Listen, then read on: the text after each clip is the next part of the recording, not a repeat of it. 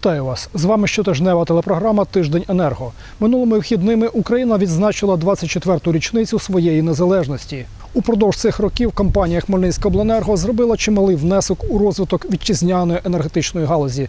Отож, у наступному сюжеті про те, як енергетики Хмельниччини відзначали державне свято незалежності. 24 роки поспіль ще до офіційного створення компанії Хмельницькобленерго в її нинішньому вигляді енергетики йдуть в ногу зі своєю молодою державою. Навіть більше вони своєю щоденною працею створювали підґрунтя для справжньої, а не декларативної незалежності України. Адже в сьогоднішньому техногенному світі саме енергетика одна з тих галузей, що можуть забезпечити державі гідні позиції і позбавити її залежності від енергетичних монополістів. Отже, для хмельницьких енергетиків День Незалежності не менше свято, ніж для тих, хто сьогодні воює на сході нашої держави. Піднесення і радість навпіл із сумом та гіркотою від втрат, які несе наша держава у ході військових дій. Таким видалося цьогорічне свято незалежності. Напередодні, в день прапора, центральний майдан Хмельниччини як ніколи розквітнув національними прапорами і барвистими вишиванками. Але поміж того святкового розмаїття зовсім не десанували суворі польові однострої вояків, що прибули на свято прямо зі східного фронту, звідти, де сьогодні вирішується доля України. На імпровізованій сцені одного за одним змінюють керівники області та міста. Їхні виступи короткі, а слова непротокольні, такі, що йдуть від серця. Мікрофон встановлений на майдані по-справжньому вільний, і тому висловити свій біль та свої побажання рідній державі можуть не лише чиновники, але й ті, хто щойно з поля бою. Не всі їхні виступи сповнені гілею. Отож, ця святкова трибуна це також полігон для національного примирення і спроба почути кожного. Власне, в цьому і є сенс справжньої демократії. Спільна молитва на майдані за всіх невинно загиблих героїв Небесної Сотні та героїв антитерористичної операції згуртувала краян більше ніж десятки помпезних заходів і промов. Мабуть, саме таких свят, відвертих, урочистих і велелюдних, сьогодні найбільше потребує наша стомлена і почасти зневірена громада. Стоячи біля оновленої та освяченої дошки, на якій, на жаль, додалося портретів загиблих героїв, і енергетики, і всі краяни почувалися згуртованими і відповідальними за долю держави держави. 24 серпня, у День Незалежності, представники влади і трудових колективів обласного центру зібралися біля пам'ятника Тарасу Шевченку. Покладання квітів до монумента Кобзареві, що стало вже традиційним у цей день, це не тільки акт вшанування видатного українця, але й свідчення відданості ідеям української незалежності, братерства та любові до батьківщини. Символічно, що саме в цей день біля пам'ятника духовному провіднику нації юні хмельничани отримали паспорти. Всі, хто зійшовся на свято, були одностайні у своєму прагненні зустріти наступну дату 25-річчя незалежності у щасливій і вільній державі під мирним небом.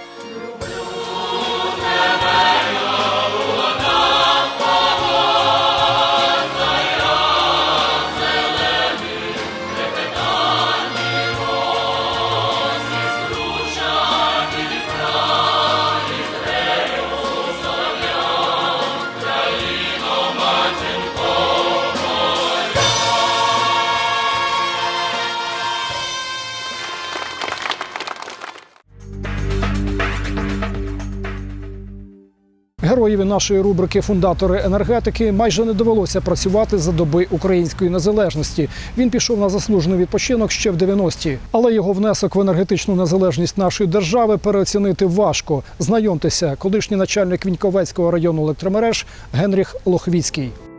Його життя немов лінія високої напруги, наскрізь пронизане невтомною працею, щоденним самовдосконаленням, почуттям відповідальності і жагою пізнання. Ще зовсім юним хлопцем Генріх Лохвіцький пішов працювати електриком у колгосп. Невдовзі його призвали на армійську службу.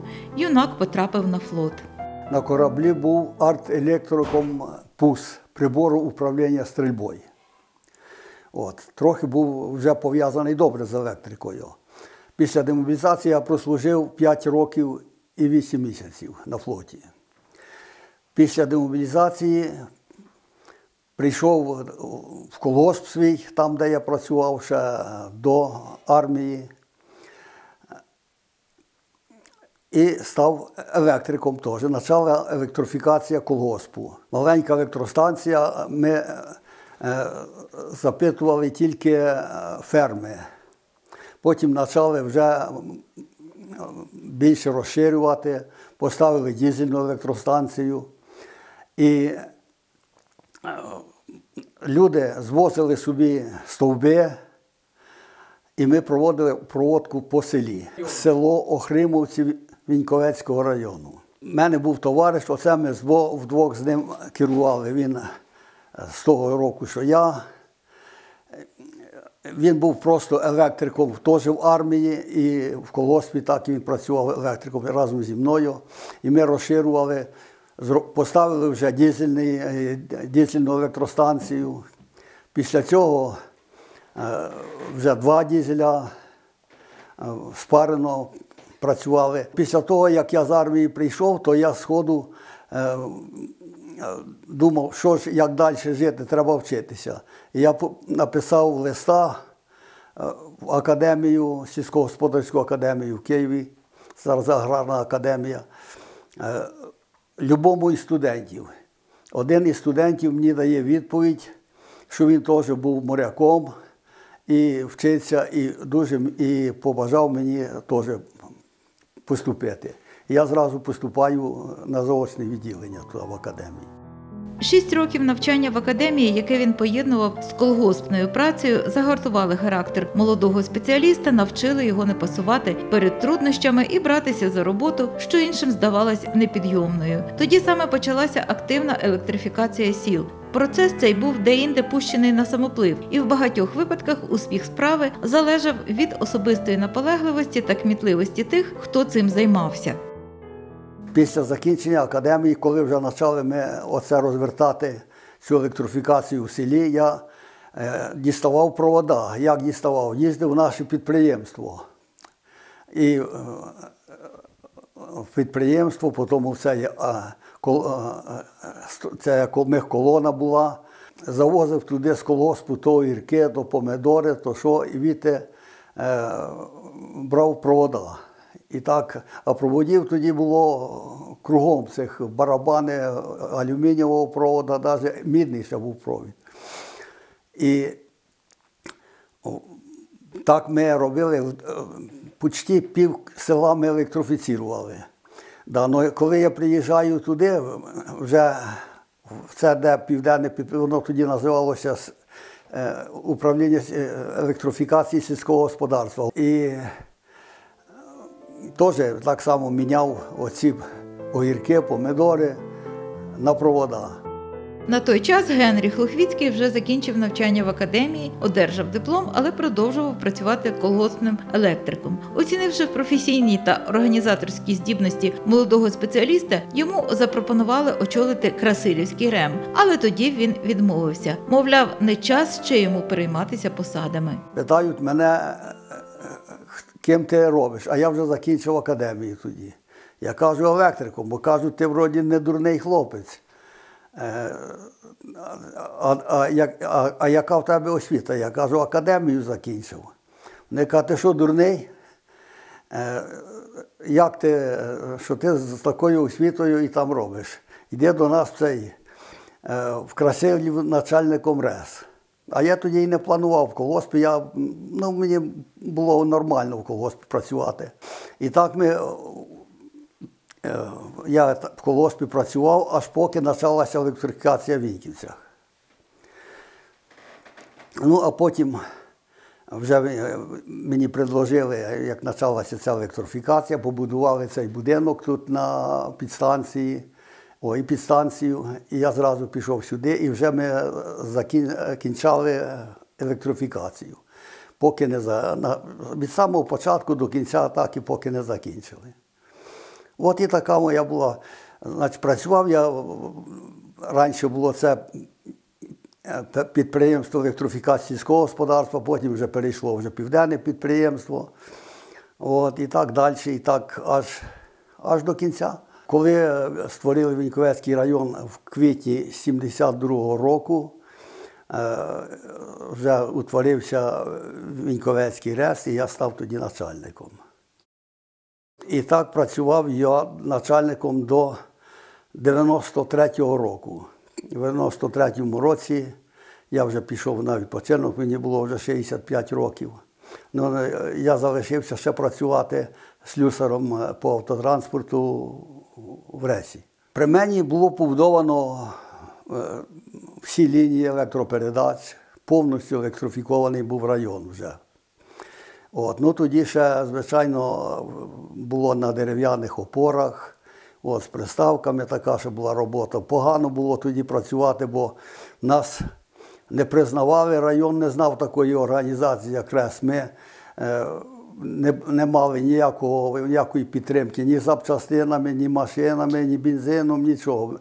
Це все приходилося всякими путями е, добувати.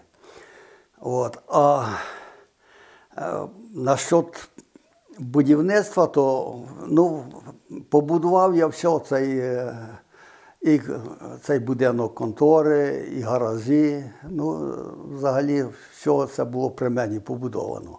Ну, а далі вже добудовували вже після мене це прикрашали все це, бо зараз там дуже шикарно все. Не мав тоді їхній рем і власного транспорту. Тож енергетики купували у колгоспів списані автомобілі, власними силами відновлювали їх, а згодом, оббиваючи пороги керівних кабінетів, усілякими правдами і неправдами добивалися легалізації тих давно не існуючих на папері машин. А зараз все інакше. Зараз і транспорт є, і, і, і всякі механізація це є, і е, БКМ, і ямобури, там все, все, все це є вже зараз. І для людей перевозка тоді ми їздили на грузових машинах і буде були зверхи. А зараз машини всі закриті. Ну, багато краще зараз, що тут говорити. От. А якщо говорити про е, про те, як до мене ставляться, то я скажу, що це так, як моя родина. От. Я дуже поважаю всіх і, і, і, і ті, що працювали разом зі мною і зараз і не працюють, то теж я знаю, що, що за мене дбають. І компанія розцвітає, і та, та взагалі зараз все покращилося. Я такої організації, скажімо, в районі не бачу такої сильної організації, як РЕС. Оце і по оплаті, і по, і по, і по роботі. От, перебоїв немає е, в електроенергії.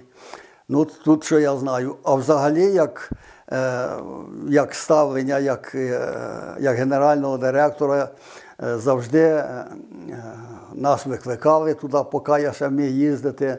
е, Зустрічалися, е, відношення до нього, так як, ну я скажу, як не як батько, а як, а як, а як мої родичі. О, так, і так і, і директори, і взагалі всі там, хто, кого я знав і, і, і хто є, то, то всі, всіх я поважаю і вважаю, що всі на своїм місці. Незважаючи на те, що давно вже розміняв дев'ятий десяток, Генріх Іванович активно цікавиться сьогоденням свого рідного підприємства, якому віддав стільки років життя, і міцно тримає руку на пульсі часу.